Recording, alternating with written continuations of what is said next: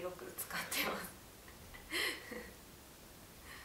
お気に入りのスタンプはあのもっと私に構ってよっていうメンヘラ女子のスタンプがあるんですけどそれにハマってます。それが好きです。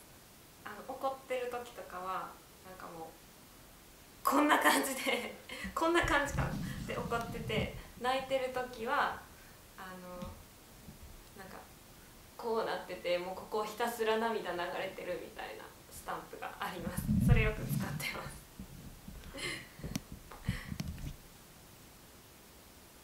自分の長所は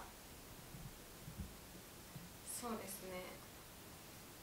正直なところだと思います。短所は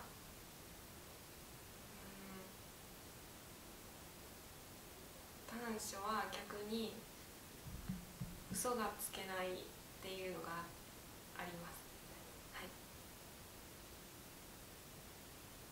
チャームポイントはあの笑った時も怒った時も出るエクボです。